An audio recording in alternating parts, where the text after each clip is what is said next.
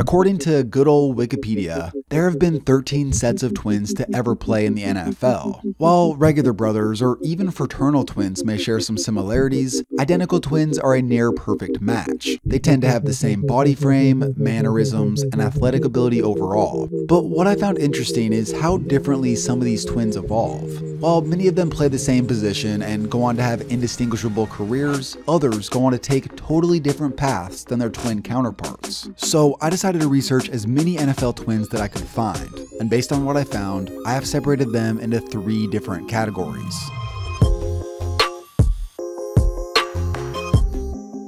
Like I said before, most of the sets of twins who made it to the NFL played the same position. Out of the 10 that I was able to find, 6 of them fall into category 1. Each one of these sets of twins played the same position. They went to college together, are just about the same size and their NFL stats are similar, for the most part. Let's kick it off by talking about the least successful sets of twins in this section, and work up from there. I'm just going to quickly brush over these first three due to their limited success at the professional level. Brian and Brandon Dixon grew up playing defensive back. After going to a Division II school and winning the national title, they fought their way into the NFL. The most noteworthy part of their NFL journeys was the fact that they were on the Saints together at one point, which made a bit of history. But for their professional careers, both struggled to stay on active rosters, and they are now out of the league. After being featured next to each other in Mississippi secondary, CJ and AJ Moore have become the NFL's most recent set of twins. It's still very early in their professional careers, but so far they are both playing special teams for their respective franchises. Lastly, Kerry and Keith Cash played tight end for six seasons in the 90s. Keith was more well known due to him playing with the Twilight version of Joe Montana on the Chiefs. But when you look at their career stat lines, they're nearly interchangeable. Even their best seasons were just about the same. Overall, for these three sets of twins, there's not too much else to say about their time in the NFL. Then we have the next three in this category, all of which have been more successful, starting with the McCourties. After becoming the first set of twins to start on the same team at the same time, it seems like these two could be the most similar of anyone on this list, right? However, their careers do have some key differences. Brace it with time, and it's intercepted.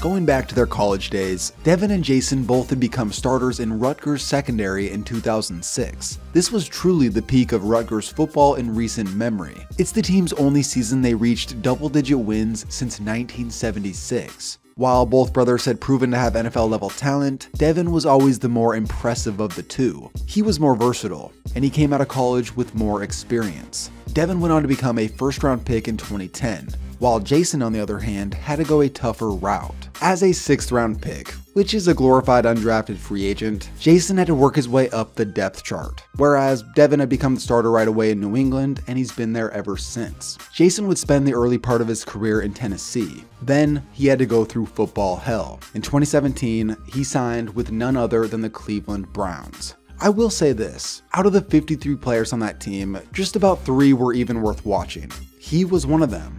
Luckily for him, he was traded following the season to New England of all places, and one year later, he had become a champion alongside his brother. What I found interesting about the McCourties was that their career stat lines aren't that much different. Yet, Devin has all the accolades. Sure, Devin has been slightly more productive, but this is one of the perks of playing for a top tier organization. The better your team does, the more potential you have to receive individual awards. Anyways, let's move on. We have just two left in this category. The Saul twins both entered the NFL in 1970, making them the oldest twins in this video. They played next to each other on the offensive line for Michigan State. After being drafted a few rounds apart, Rich headed to LA and Ron headed to Houston. Both would go on to struggle at first, but by year 5, Rich became the Rams starting center, and he began to dominate. He eventually went to 6 Pro Bowls in a row, Ron never found consistency in Houston, and he would end up in Washington around the same time his brother started popping off. Although Ron was more successful with the Redskins, his twin Rich had still outperformed him. Overall though, there's pretty limited information about these two. But one interesting fact I found was that they played their last official NFL game against one another. Ron and the Redskins went on to win that game. Now, that leaves us with just one set of twins in this section, Two brothers who have been so dominant, no one else in this video tops their collective success. Of course, I'm talking about the Pounceys. After ranking out as the 15th and 16th best guards in the nation during high school, the Pouncey twins went on to dominate at the University of Florida. They were so good that it almost became a game of who could earn more accolades. Just when you thought Mike had proven himself to be the better player being a two-time All-American, Maurkice went ahead and took the cake by winning the Rimington Trophy, which is given to the best center in the country. Their success didn't stop there. Maurkice entered the NFL draft a year before his brother. He was the top center prospect and would go first round 18th overall to the Pittsburgh Steelers. One year later, not only did Mike post nearly identical combine stats to his brother, he was also the number one center in his draft. He was then taken with nearly the exact same pick. Eight years after they were both officially in the NFL, the Pouncey twins played together in the Pro Bowl. This marked the first time this had ever happened. Mike Pouncey. Mike's waiting on his brother. Your brother, a lot of lot of media requirements. Superstar, man. He done been in like 12 Pro Bowls, so they love him out here. And uh, media won't leave him alone. We need one of the media guys to tell him his last question. the only real difference between these two is what Mike just said. His brother Maurkice had been arguably the best center in football, going to the Pro Bowl all but one year of his career. Mike had been very successful himself, but just not at the caliber that his brother had been at. I guess you can throw in the fact that Mike has played for a whopping two teams compared to Maurkice just playing for one. Overall though, their careers since high school are so similar, they're one of the most inseparable duos on this list. Ultimately, of the six sets of twins in Category 1, they're all pretty similar to their twin when directly compared to them. But we're just getting started.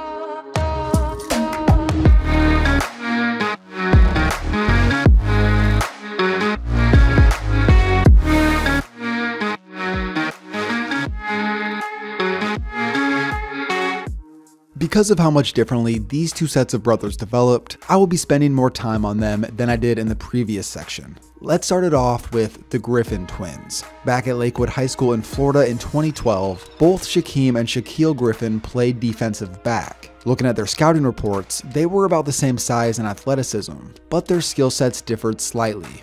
Shaquem was considered to have better instincts and helped out more at the line of scrimmage. Shaquill was more often on the back line of the defense and excelled in coverage. However, the biggest difference between these two is the fact that Shaquem only has one hand. Despite similar scouting grades, Shaquill had received looks from bigger schools that Shaquem did not. Even with opportunities to go to schools like LSU and Miami, Shaquill passed on them so he could continue to be around Shaquem. The twins would both go on to sign with the University of Central Florida. Once both brothers arrived on campus, that's when their development would take two separate paths. While Shaquill transitioned smoothly into the same position he played in high school, the coaching staff decided to make a change in Shaquem's development, slowly morphing him from defensive back to linebacker. This was most likely due to his limitations with one hand. While it would be insanely difficult to try and defend passes in the air, it's relatively easier to wrap up ball carriers. Shaquem was very undersized for a Division 1 linebacker, so they put more weight on him to be able to handle the change. By the time their college careers were winding down, Shaquem outweighed Shaquill by 30 pounds. Remember, they were the same weight when they got there. Following the 2016 season, Shaquill possessed the size and athleticism needed to project well to the next level, and Seattle drafted him in the third round. Shaquem still had one more year left at UCF, and for anyone who paid attention at all to college football that season, then you know how incredible it went for Shaquem. After the team had been just awful two years before, UCF finished the season undefeated, and Shaquem had been one of the best players in the entire nation. For how well Shaquem has done with one hand is truly inspirational. But let me tell you about the most underrated part of his journey. Despite the fact that he was carrying an extra 30 pounds, he hardly lost any of his athleticism. For example, his brother Shaquill ran a blistering 4.38 at the combine. That's ridiculously fast for anyone. Shaquem would go on to run the exact same time. This had set an NFL Combine record for linebacker prospects. His unbelievable performance was enough to have Seattle look past the fact that he only had one hand, and they selected him in the fifth round. Not only did Shaquem become the first one-handed player in NFL history, he had also been reunited with his brother. This was truly the feel-good story of 2018. Now, it's still early in their professional careers, but so far, Shaquill has flourished. He is a cornerstone on the Seahawks defense and was a Pro Bowler this last season. Shaquem has mostly been a backup, playing on special teams and rotating in at linebacker from time to time. Whether or not he's able to find the same success as his brother, this has been one hell of a story so far. We can only hope to see more of these two together in the future. Third down and nine, blitz sack. Play made by Shaquem Griffin.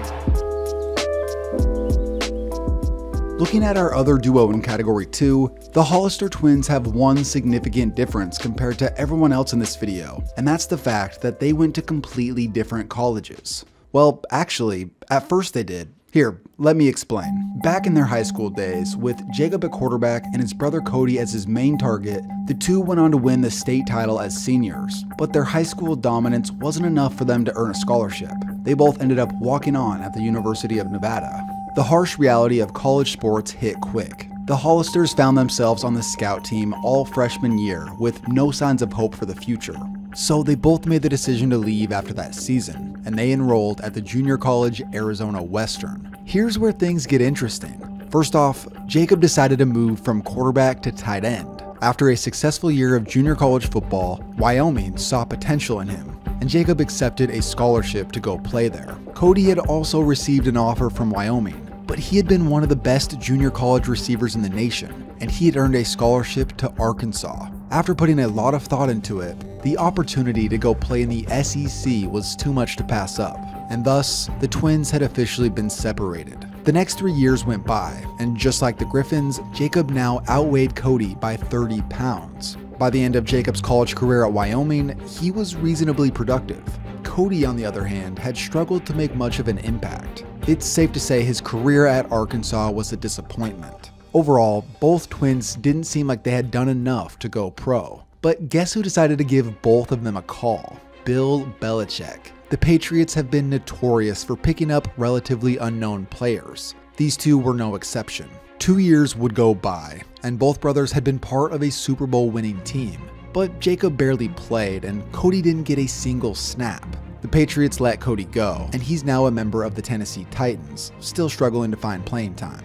Jacob was traded to Seattle for pennies on the dollar, and he was demoted to the practice squad before the 2019 season began. Six weeks later, the team decided to promote him to the active roster. Typically, you don't see recently promoted players get too much action on the field, especially in overtime. But within a few weeks of being promoted, this happened.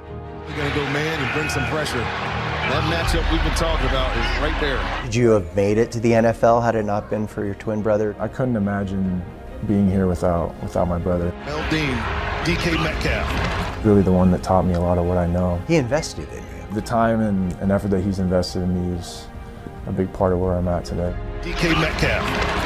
Second and goal from the 10. Wilson fires.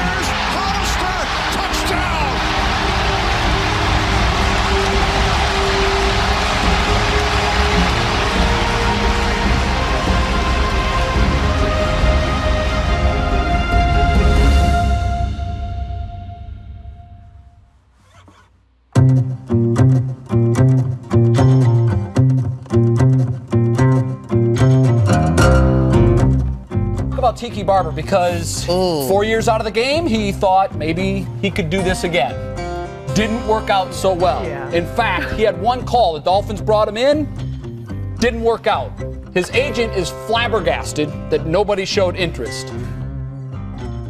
You may remember Tiki and Rondé Barber from back in the 2000s. They are perhaps the most intriguing storyline of all the twins in this video. This is because they played on opposite sides of the ball and their career paths went two separate directions, but not for the reasons you may think. First, let's talk about their similarities. Both twins were incredible at what they did on the field. After receiving scholarships to play at Virginia, Tiki and Rondé went on to dominate at their respective positions, and they were drafted one round apart in 1997. Tiki had become a star by 2001, helping lead the Giants to the Super Bowl.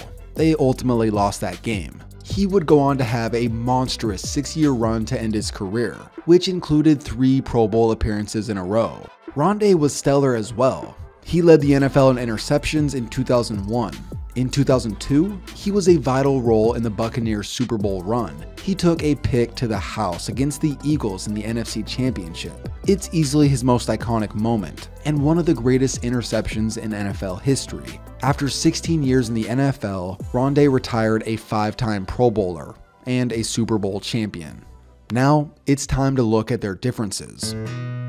From a young age, the biggest difference between Tiki and Rondé was their personality. While Rondé was more of a team guy and rarely gave an interesting quote, Tiki always had something to say. His desire to express himself ultimately led to the most shocking moment of his NFL career, and that was deciding to announce midway through the 2006 season that he would be retiring after the year was finished. Things would only go downhill for him after that. Here to extend my warmest welcome to, to Tiki as the newest member of the NBC Universal family. Eli Manning, after three years, your assessment? He didn't feel like his voice was going to be strong enough, and it showed. I mean, sometimes it's almost comical the way that he would say things. So basically, your leaving is a good thing for Eli. I think it is say. a good thing uh, for Eli to tell you the truth. This is not a dude that broke up with his girlfriend. This is not a, new, a dude that had baby mama drama or anything like that. This is a dude who was married in the public eye because he was working for NBC television. The wife is pregnant when he left her. Don't tell me that doesn't count against you in a catastrophic fashion.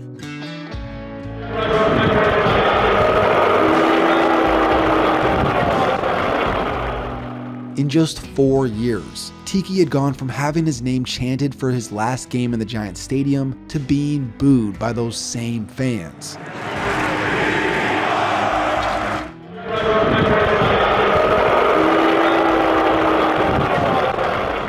It was wild enough thinking that he retired during his prime. Then, with everything that happened, including a failed NFL comeback years later, Tiki's legacy had truly been tarnished. For Rondé, he was basically known as Tiki's twin in Tampa. For example, in this two minute clip from Colin Cowherd's show titled, Was Rondé Barber Overshadowed by Tiki Barber? they didn't spend a single second of the video talking about Rondé. This is unfortunate that it happened this way, because all Rondé did was ball out. Overshadowed by his brother's spotlight, Rondé was one of the best defensive backs in the league. This was highlighted by the fact that he was named to the NFL All-Decade team. It's a travesty that Rondé is not in the Hall of Fame.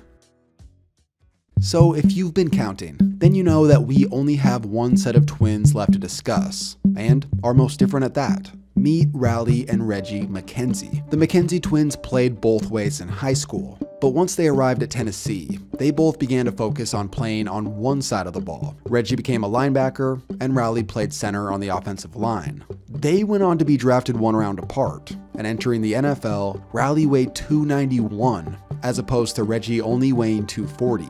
Reggie would go on to have a weird career. He was a failed draft pick for the Raiders. Then he spent three years out of the NFL coaching high school football. He tried to make a comeback to the NFL after being away for a few years. That ultimately failed. He loved the game, but being on the field wasn't going to happen, so he returned to Tennessee to help coach. One year later, he re entered the NFL as a scout for the Packers. Raleigh, on the other hand, was dominant. He became a cornerstone on the Redskins' offensive line, otherwise known as the Hogs O line. He helped Washington win two Super Bowls. Raleigh played in Washington for 10 years before moving on. A few seasons later, he wound up signing with the Green Bay Packers. Coincidentally, his brother was a member of the team's front office. This was a pretty crazy experience for the both of them. Eventually, Raleigh retired after 16 seasons. He's considered one of the greatest Redskins ever. Reggie only played for 5 seasons, but he found success in his own way by moving into the front office realm of the game and being a part of two Super Bowls with the Packers. He eventually worked all the way up to general manager of the Raiders. At this point, things had come full circle, and he hired his twin to work for him. Even now, the McKenzie legacy lives on. Reggie's son, Khalil, entered the NFL draft in 2018. Imagine you're a potential draftee, and your dad is one of the general managers that can possibly draft you. Sadly, his dad didn't pick him. Still, what a cool story for the McKenzie family. So with wrapping up this video, I thought I would tell a quick story. Many of you know who Buddy Ryan was. He was the defensive coordinator of the famous 85 Bears defense. Anyways, Buddy had three sons, one of which was Rex. Rex Ryan would go on to become a successful NFL head coach, leading the Jets to back to back AFC championship appearances with Mark Sanchez. Eventually, he was fired and went to Buffalo. He would really let himself go. He was nowhere near the coach he once was, and oh, wait, never mind. That's just his twin brother Rob. My bad.